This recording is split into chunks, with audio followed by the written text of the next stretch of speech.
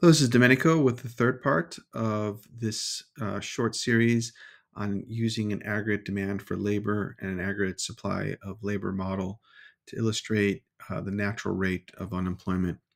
In part two of this uh, short series, we illustrated the aggregate supply and the aggregate demand, the equilibrium at point A, the equilibrium real wage, the equilibrium uh, quantity of labor employed at that real wage. And then we also illustrated the labor force, and we were mindful of the labor force being the sum of those that are unemployed, actively seeking a job but unable to find a job, and those that are currently employed at that real wage. So the distance between ASL1 and labor force is the natural rate of unemployment. And in that part two video, we want to understand that the distance between QE and QLF, quantity of labor force, or ASL, aggregate supply of labor and labor force, the distance between that is the sum of structural, frictional, and seasonal unemployment. So the distance between ASL1 and this brown curve here is the value of structural unemployment which was ASL2 plus ASL1 plus the quantity of structural unemployment. Then we also added the frictional unemployment. So the frictional unemployment is the sum of all those that are currently employed plus all those that are structurally employed plus the frictionally unemployed. And then we take into account the seasonal unemployment. Thus, we have our full labor force. The full labor force is the sum of all of those that are employed plus those that are structurally employed, those that are frictionally unemployed, and those that are seasonally unemployed becomes our total labor force. In this video, we're just going to simplify the model as you would for an exam and then analyze it. So again, here we are on the y-axis. We're measuring the average real wage rate, the quantity of labor on the x-axis. We're going to illustrate an upward sloping aggregate supply of labor curve supplied by the household. We'll label that aggregate supply A S, aggregate supply of labor in the macroeconomy, households providing that labor. Then we have demand, uh, demand driven by firms, firms demanding labor as an input in their production.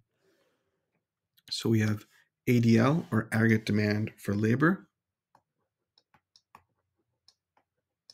And that sets the equilibrium wage, real wage or real income in the economy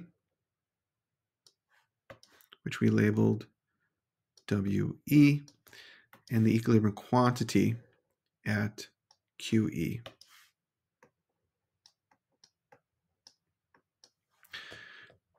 All right, then we will then move on to illustrating our labor force, which is the sum of our structural, frictional, seasonal uh, unemployed workers plus those that are currently working. So our labor force is the sum of number of unemployed plus number of employed.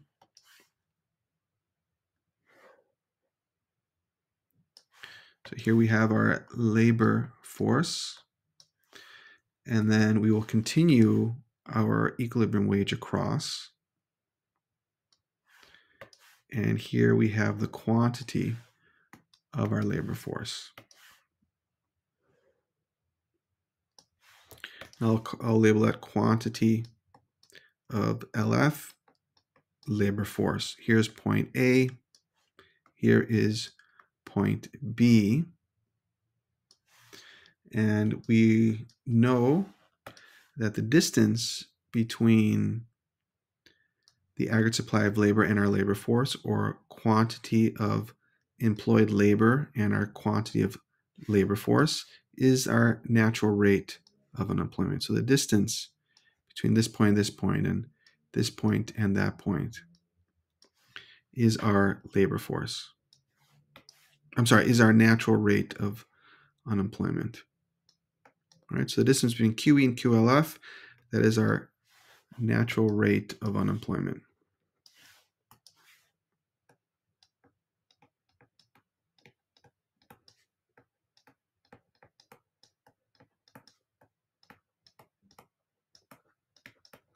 And we know that our natural rate of unemployment is equal to the sum of our structurally unemployed, our frictionally unemployed, and our seasonally unemployed uh, workers.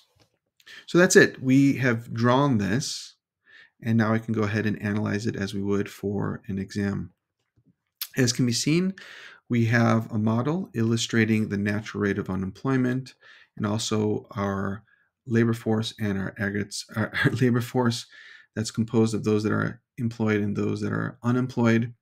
On the y-axis, we're measuring the average real wage rate, and on the x-axis, we're measuring the quantity of labor supplied and demanded in the economy. We have a downward sloping aggregate demand for labor curve labeled ADL, the demand driven by firms that are demanding labor as an input in their production process. We have an upward sloping aggregate supply of labor curve that's provided by households. Households own the factors of production. In addition, we also have an upward sloping labor force curve. Our labor force is composed of the number of unemployed plus the number of employed. Where ASL equals ADL, it provides an equilibrium wage at WE. And at WE, the quantity supplied for labor is equal to the quantity demanded for labor at QE or at the equilibrium quantity. At that equilibrium real wage of WE, we also see that the labor force at point B is at a quantity of QLF.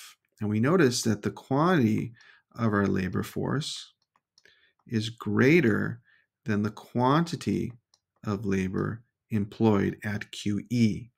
Thus, the distance between QLF and QE illustrates the natural rate of unemployment, the quantity of labor that's actively seeking a job at that real equilibrium wage but unable to find a job. So, quantity LF minus the equilibrium quantity of labor that's demanded and employed illustrates our natural rate of unemployment, which is the sum of structural unemployed workers, frictional unemployed workers, and seasonally unemployed workers. In the United States, the natural rate of unemployment is approximately 5%. As we can see here, over a five or six decade period, we can see that unemployment is more or less hovering between 4 and 6%. So the long run average level of unemployment is about 5%. If uh, the economy is able to address structural, frictional, or seasonal employment, reduce that, then the gap between QE and QLF will decrease. If structural unemployment, frictional employment, seasonal employment increases, then the gap between QE and QLF will increase. Okay, and and that's it. That is the goal of this video, just to quickly illustrate this model, understand it, and be able to explain it on an exam. If you have any questions, feel free to comment those questions below, and don't forget to subscribe and to like. Thank you.